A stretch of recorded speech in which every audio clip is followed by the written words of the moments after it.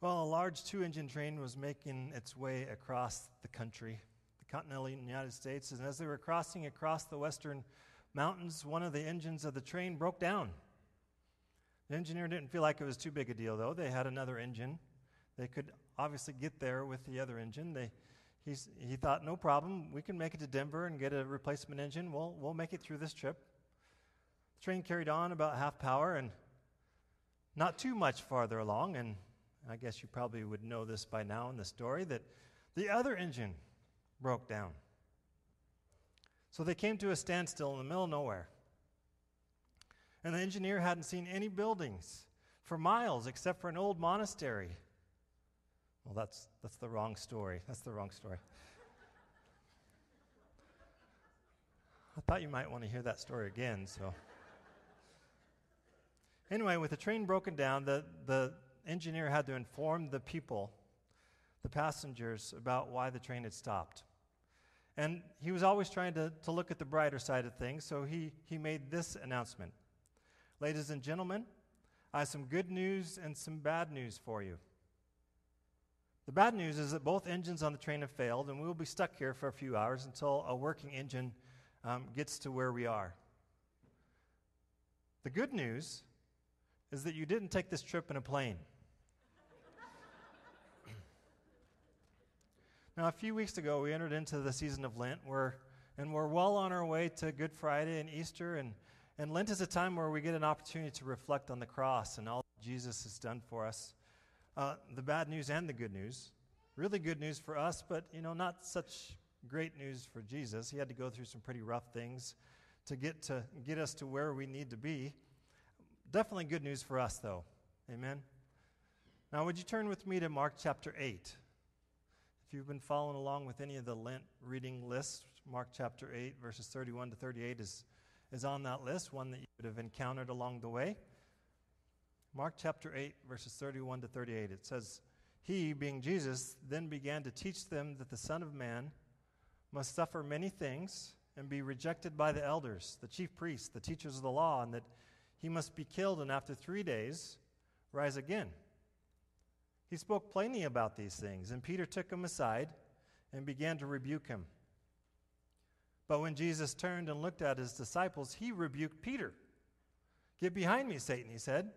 You do not have in mind the concerns of God, but merely human concerns. Then he called the crowd to him along with his disciples and said, Whoever wants to be my, my disciple must deny themselves and take up their cross and follow me. For whoever wants to save their life will lose it, but whoever loses their life for me and for the gospel will save it. What good is it for someone to gain the whole world yet forfeit their soul? Or what can anyone give in exchange for their soul? If anyone is ashamed of me and my words in this adulterous and sinful generation, the Son of God, the Son of Man, will be ashamed of, of them when he comes in his Father's glory with holy angels. It's kind of an interesting passage one that we've probably all read before. Jesus is sharing that he, he, he's going to suffer many things.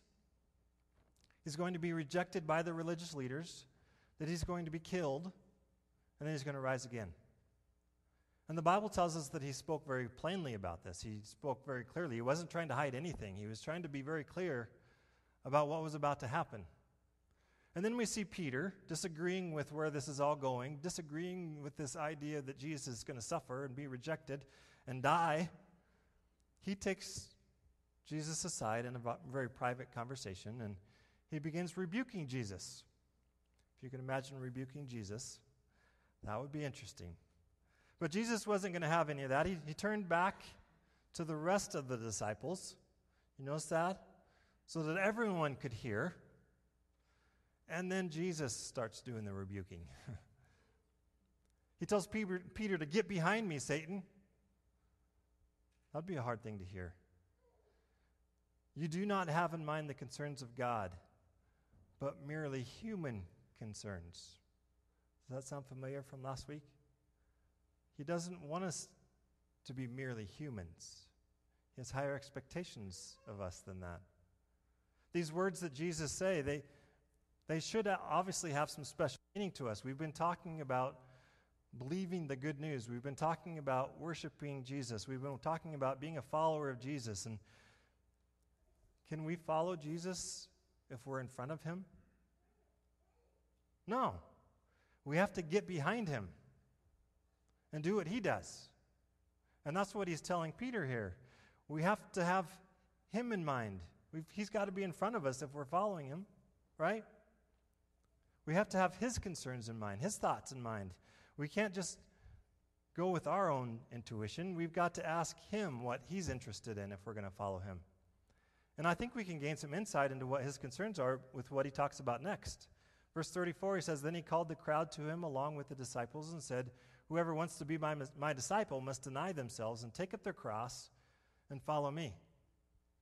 Now, that doesn't sound like something that we probably would want to do, following Jesus, picking up a cross. I mean, that's not something that would be on my top of my priority list, taking up a cross. But I still think the emphasis here from Jesus is following him, doing what he does, uh, thinking about the things that he does. And he's not done with this conversation. He adds another piece to the puzzle in verse 5, 35. For whoever wants to save their life will lose it, but whoever loses their life for me and for the gospel will save it. Do you see what he added in there? What's Jesus' concern? The gospel, the good news. What is the good news? It's that Jesus died on the cross for our sins, that he was resurrected from the dead, that he lives today so that we can have that hope to live as well. And again, this certainly doesn't sound like very good news to Jesus, what he's about to encounter, but, but it's all we have. This is our hope, our only hope. And this is what Jesus is telling his disciples in verse 31 when, when Peter has a problem with it. Jesus said he would suffer, he'd be rejected, he would, he would die on the cross, and Peter has a problem with this game plan. He didn't want Jesus to be rejected, he didn't want Jesus to be killed. Now, if you've heard a sermon on this particular passage, I think the next logical move here is to talk about Peter and the Jews and their misconception of the Messiah. What the Messiah was going to be like. The Messiah was supposed to be powerful. He was supposed to overpower the enemies of Israel. He was supposed to, to help them. He wasn't supposed to die, he wasn't supposed to suffer. The disciples had a problem with Jesus suffering, with Jesus dying. The disciples had a problem with this somehow weak looking Messiah, that, that he would suffer and die. Now, what's interesting about this passage, in truth be told, we see what the disciples are struggling with, this thought process of this version of the Messiah, but that really isn't our problem. We've heard this story over and over again since we were kids. We know about Jesus suffering and dying. We know this version of the story. We're not surprised by this. We're not surprised like the disciples would have been. I mean, it's okay for Jesus to be rejected and die. We know the rest of the story, right? We know that he rises again. We, we know that he's still alive. We're okay with this. But there is a part of this story that we do struggle with, I think. There's a part that this, the church struggles with, and and I think we struggle, much like the religious leaders in Jesus' time, with Jesus dying not for the righteous, but for the sinners. I think this is the part of the story that, that we trip up on. You see, I don't think we always see ourselves as sinners anymore. We make, uh, we, we have entered into this relationship with Jesus. We've worked hard to put our lives together. We've made good choices. We've, we've, he's transformed our lives. We've worked hard to be right in the eyes of the Lord. We are so far past that. We, we sometimes struggle even seeing who we once were. Don't get me wrong, we know that Jesus has saved us and we're thankful for that, but I think we often forget what kind of mess we were in before we met Jesus. We don't always connect those out there, outside of this area, as being in the same boat that we were when we found Jesus. We've lived long enough with Christ that we've forgotten what we once were, that we were just like them. And if we're not careful, we, we, create, we create this distinction between those who are righteous and those who are sinners, between us and them. And you know who the them are, right? Those sinners. We can fall into the same trap that the religious leaders fell into in Jesus' time. So let's continue in this conversation. Turn with me to Mark chapter 2. Now remember, if we are going to follow Jesus, we have to be concerned about the things that Jesus is concerned about. That, to be concerned about his thought processes and what he's thinking. And think about what the scriptures tell us about Jesus. Okay? So as we're working through this, think about Jesus and what he's thinking. Mark 2, beginning with verse 13, another story that we find. Once again, Jesus went out beside the lake. A large crowd came to him and began to teach them. As he walked along, he saw Levi, son of Alphaeus, sitting at the tax collector's booth. Follow me, Jesus told him. And Levi got up and followed him. While Jesus was having dinner at Levi's house, many tax collectors and sinners were eating with him and his disciples, for there were many who followed him. When the teachers of the law, who were Pharisees, saw him eating with the sinners and tax collectors, they asked his disciples, Why does he eat with tax collectors and sinners? Doesn't he know better than that? On hearing this, Jesus said to them, It is not the healthy who need a doctor, but the sick. I've not come to call the righteous, but sinners. Have you ever noticed that Jesus is always getting in himself in trouble because of who he was hanging out with? I mean, he was always hanging out with those sinners. He was always eating with those sinners. Have you noticed that? And really, this verse 17, it's always interesting to me. How do you read this? On hearing this, Jesus said to them, It's not the healthy who need a doctor, but the sick. I've not come to call the righteous, but the sinners. So let me ask you do you take this to mean that the healthy are good to go? That they don't need Jesus? Is Jesus saying, they don't need me, they're already righteous? It's really just the sinners who need my help. They're the ones who are sick. I mean, who is really in trouble here? Do you consider yourself one of the healthy ones, the righteous ones, the ones who don't need Jesus? Well, be careful how you answer that. The church has really struggled with this distinction between righteous and sinners for years. Why? Well, I think a lot of it comes down to we like to hang out with our own kind. We like to hang out with people who, who we're like. We really don't like to hang out with people with problems. Of course, we don't count our problems into that. they don't know the rules, do they? They have bad habits. They don't know that they're sitting in my spot. I mean, what if they start influencing my kids? I mean, have you smelled them? They're stinky. I mean, they come up with all sorts of uh, excuses, don't we? It's just best if they live separate from us. I'm, there, I'm sure there's some church in town that would, that would accept them, that would bring them in, some place where they would better fit than our place. It's not the healthy who need a doctor, but the sick. I've not come to call the righteous, but the sinners. So, which one are you? Are you the righteous or the sinner? Are you needy? Do you need Jesus? Are you desperately needing Jesus? Have we lost our desperation for Jesus? You realize that one of the main reasons that Jesus was rejected by the religious leaders was because of who he hung out with. I mean, just look at his disciples. They didn't deserve to be taught by a rabbi. Fishermen, tax collectors. If Jesus was walking on earth today, who do you think you'd hang out with? Do you hang out with the people that he would hang out with? Something to think about. Would you turn with me to Matthew 15? One more passage to look at this morning. Matthew 15. You know, Matthew is considered the gospel for the Jews. And we, we find a story in Matthew 15 that really helps us see what Jesus is about, what he's interested in. Really takes the cake. Matthew 15, beginning with verse 21. Leaving that place, Jesus withdrew to the region of Tyre and Sidon. A Canaanite woman from that vicinity came to him, crying out, Lord, son of David, have mercy on me. My daughter's demon possessed and suffering terribly. Jesus didn't answer a word. So his disciples came to him, urged him, Send her away, for she keeps crying out after us. He answered, Very odd answer. I was sent only to the lost sheep of Israel. The woman came and knelt before him. Lord, help me, she said. He replied, It's not right to take the children's bread and toss it to the dogs. Yes, it is, Lord, she said.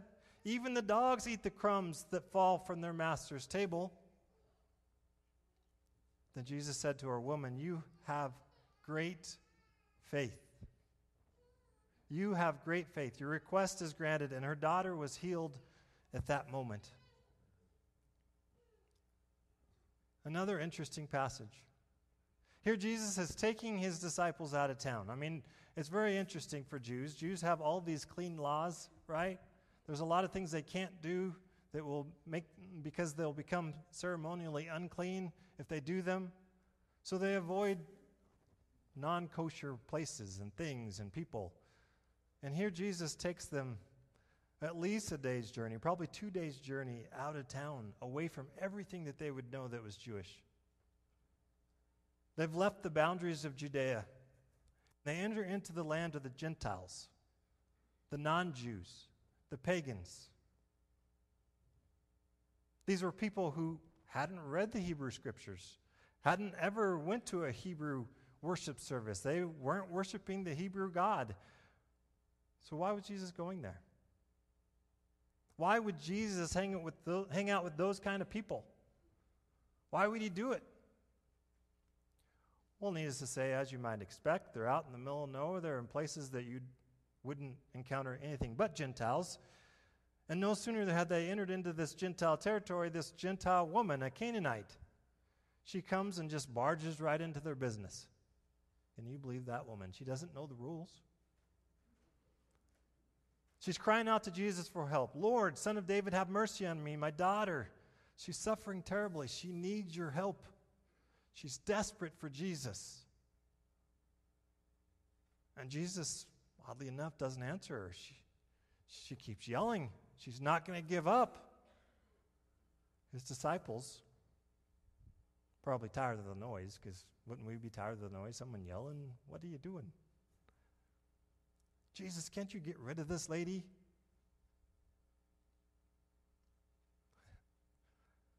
Now, in defense of the disciples, they were, they were in the middle of a meeting.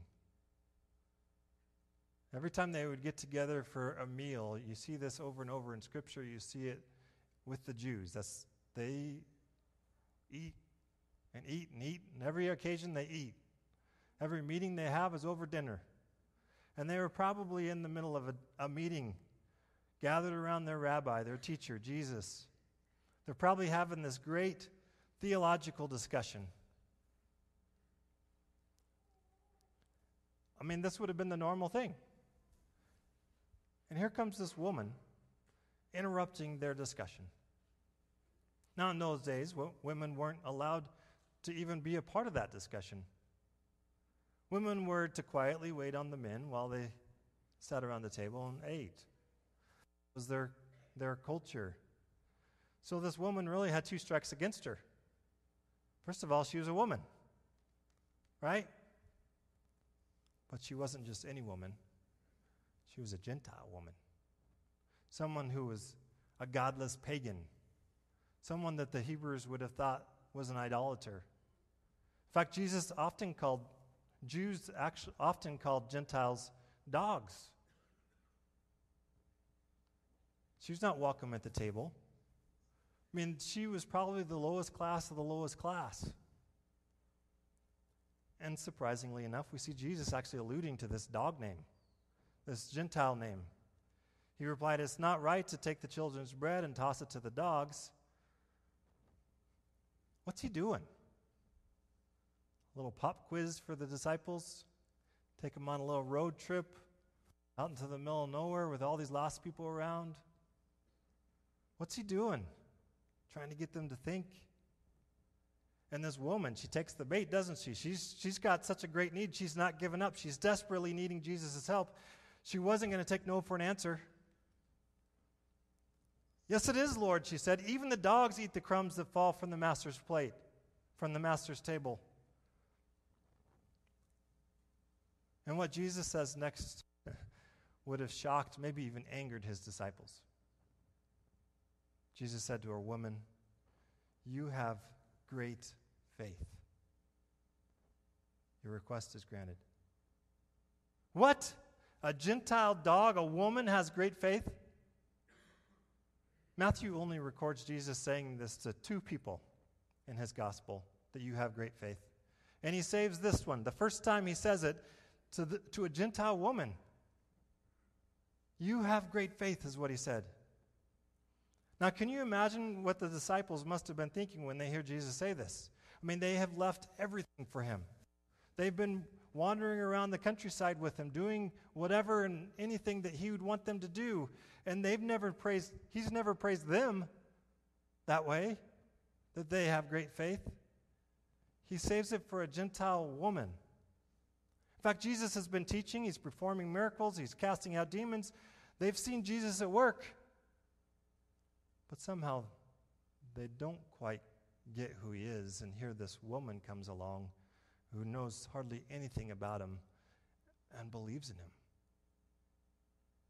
She has great faith.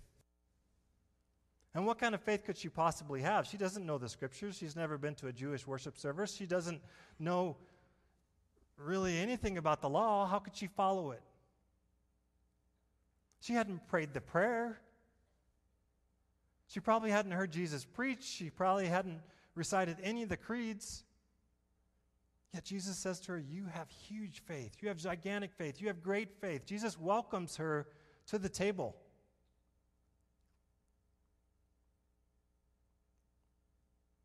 Now, what could possibly warrant such a statement from Jesus? Could it be her need for Jesus? Could it be that she's recognized that she desperately needs Jesus? Now, when you think of righteousness before God, do you think about something that you earn? Or do you think about it as a gift? Are you in need of a doctor? Are you in desperate need for a doctor? Are you okay the way you are? Did Jesus come for you? Are you okay with Jesus hanging out with and pursuing sinners? Are you willing to follow him there? This story emphasizes the scandalous nature of Jesus' ministry. Jesus was not crucified because he saved people. All people expect a Savior to save people. That's not unusual. Jesus was crucified because he saved the wrong people. The wrong people. He saved people who nobody thought could be saved. He saved people that nobody wanted to save. And he was hated for it. Now, maybe there's some implications in here for us. I mean, if we're going to follow Jesus, if we're going to worship Jesus, if we're going to go be with Jesus, if, we, if we're going to be his people, aren't we going to have to hang out with the people that Jesus hangs out with? That Jesus is pursuing, that Jesus is, is, is calling?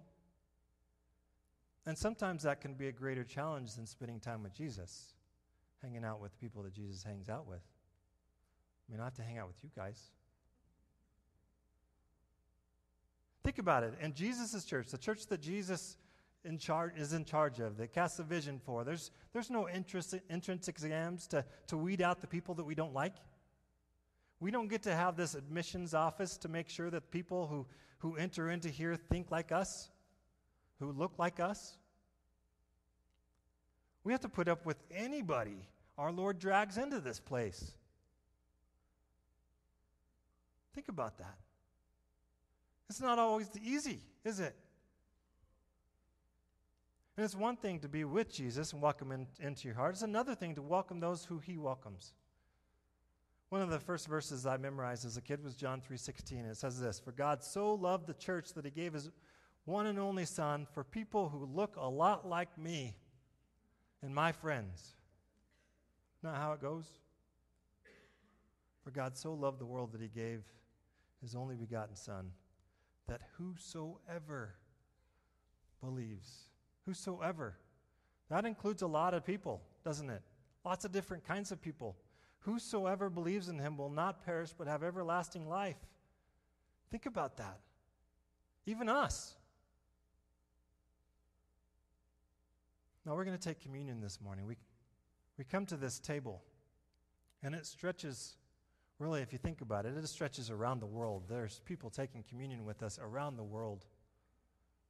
There's all sorts of different people at this table. It's really a table without any boundaries. The main requirement for being at this table is that you are a certifiable, honest to goodness sinner. Someone in need of a doctor, someone in need of Jesus. Not just in need of him, but desperately needing him.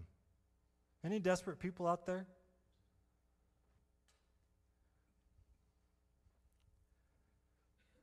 And, and it really, we should enjoy when Jesus pushes the boundaries out, winning over people that really shouldn't be connected with us.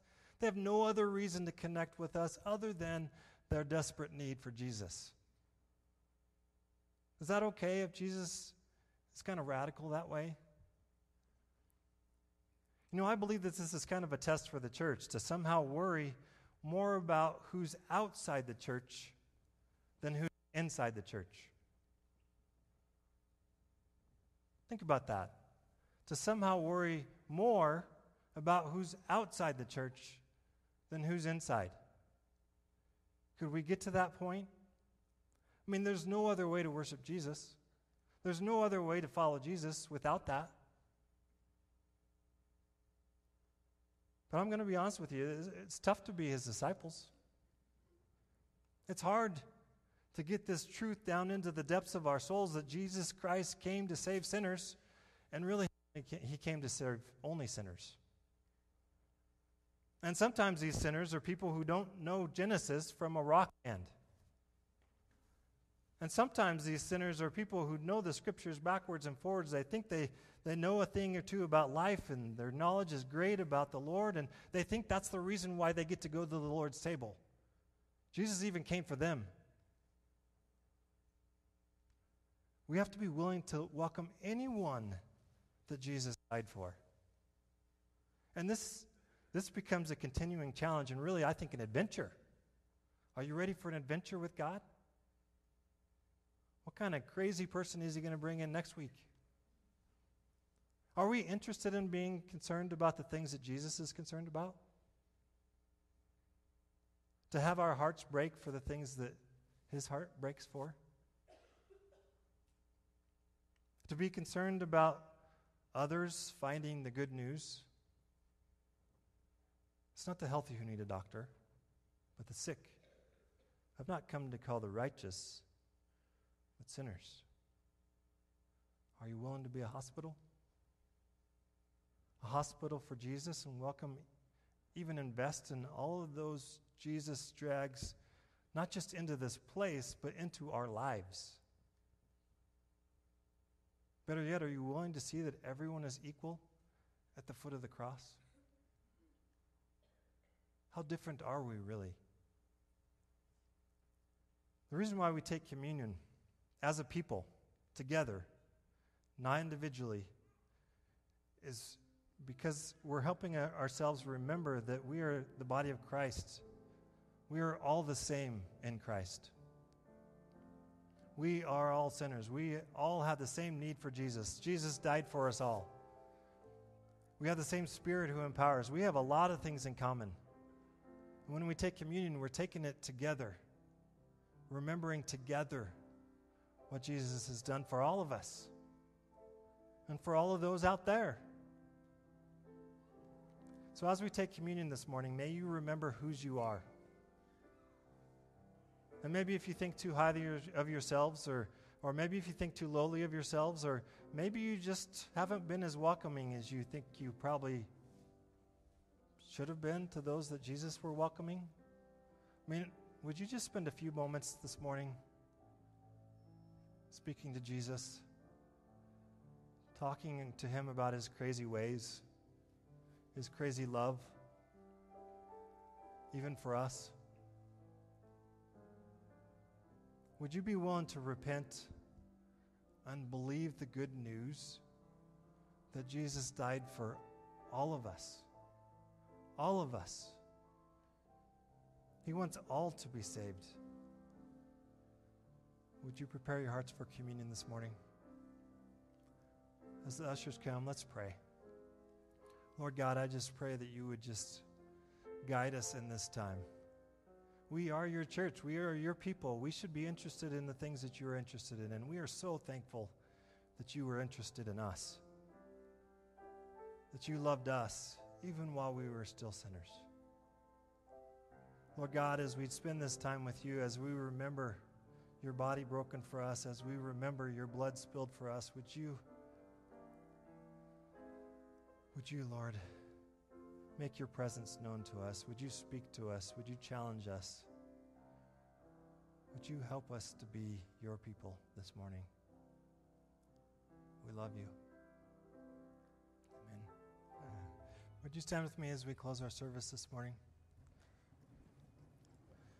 I want to close our service with a reading from Matthew chapter 5. It says, You are the salt of the earth. But if the salt loses its saltiness, how can it be made salty again? It is no longer good for anything except to be thrown out and trampled underfoot. You are the light of the world. A town built on a hill cannot be hidden. Neither do people light a lamp and put it under a bowl. Instead, they put it on its stand, and it gives light to everyone in the house.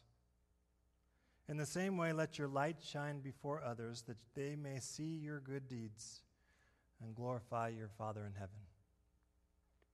Would you pray with me? Lord God, you've called us to be a light in our community. It's not a light that we own ourselves, it's a light because your presence is in our lives. It's something that you do in and through us. Would you help us to be desperately in need of you so your presence stays with us and in us so that others might see this great light in this world. Help us to be your body this week. Help us to be your hands and feet. Help us to be the light of the world. Jesus' name, amen. You are sent.